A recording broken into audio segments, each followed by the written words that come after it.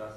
Um, tak hlavným cieľom tohto zápasu bolo zvládnuť. Ten zápas sme zvládli. A ja som, že určité veci tam neboli ideálne alebo úplne podľa našich predstav, ako to sme chceli. Ale kľúčom bolo, že sme zápas zvládli a tri body, tri body sme vybojovali. Máme ďalšie tri body, ktoré sú veľmi dôležité do ďalšej časti. A na to by som sa hlavne zameral a ostatné veci myslím, že nemusíme nejako detálnejšie riešiť. Ďakujem pekne, nech sa páči vaše otázky. Najvýraz, najvýraznejší moment je jasný. Asi videli ste už niekedy život niečo predtým, čo spravil Peťo Čegler dnes? Ako to komentujete? Uh, videl som to, videl som to v nemeckej lige, videl som to v anglickej lige.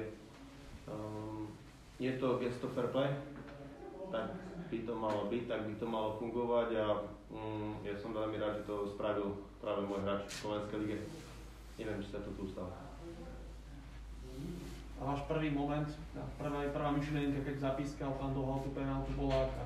Prvá myšlienka bola taká, že som sa otočil na svojich kolegov a som im povedal, že nemyslím si z môjho pohľadu vzdialenejšieho, že, že pokutový bol, ale z tej čiary to je vždy inak vidieť, ako to je vidieť e, z 5 metrov, ale to bola moja reakcia v danom, v danom momente. Pán tréner Blahač povedal, že Peťo by za toto gesto niečo aj zaslúžil. Máte rovnaký pohľad? Um, tak um, myslím si, že to, čo môže dostať, je to uznanie a to je asi taký najväčší dar, ktorý v tomto momente uh, je pre neho. V druhom polčase sa ten obraz hry zmenil aj pod vplyvom iného výkonu Čo na tom vašom výkone vám prekážalo prípadne v druhom polčase? A prekážalo mi hlavne to, že uh, sme nehrali organizovane, tak ako hrávame.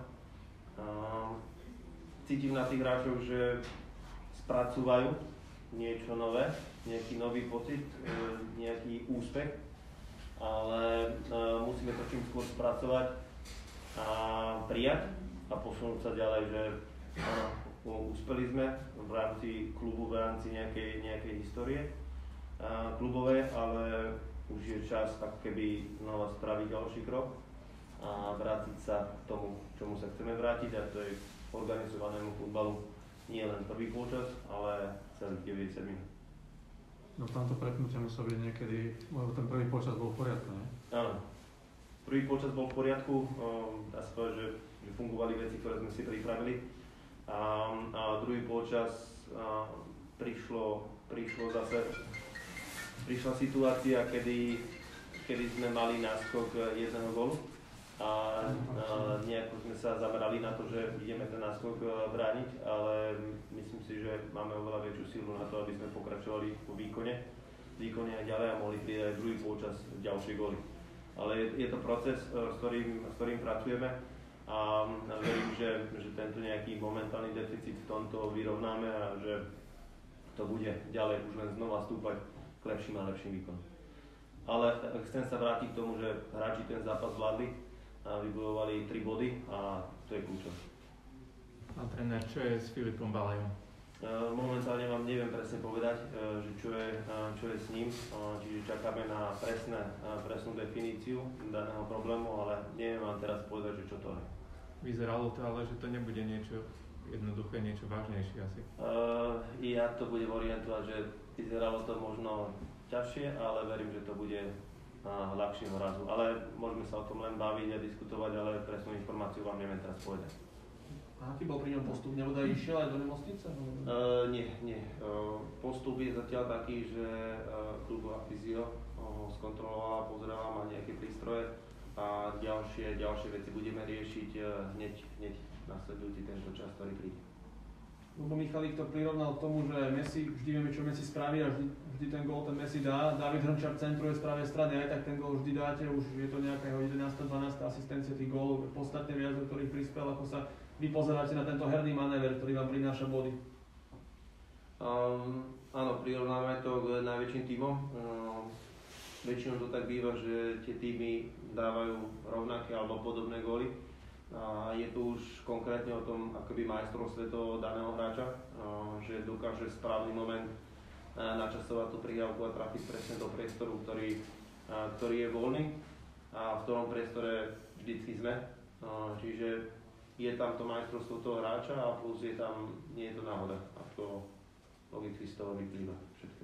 Asi to je, nie že stokrát, ale asi to je tisíckrát natrénované, nie? Sme spolu, sme spolu nejaký čas a tieto situácie sa opakujú veľakrát v tréningovom procese, tí hráči to majú zautomatizované, priestory majú zautomatizované, takže som rád, že to vychádza aj napriek tomu, že to všetci poznajú, že to tak je. Keď trošku zafilozofujeme, Hrnčar je pre vás osožný, výrazne osožný tým, že na ňo je ušitý ten herný štýl a že má tie automatizmy v krvi a že to mužstvo hrá na to, aby mu to posunulo napravo. E, nemusí to byť jeho deficit do budúcnosti v iných tímoch, keď možno tým nebude sa prispôsobovať jemu? Um, tak uh, futbal funguje tak, že keď niekoho chcete, tak ho chcete na základe niečoho a vyberáte si do nejakého herného systému.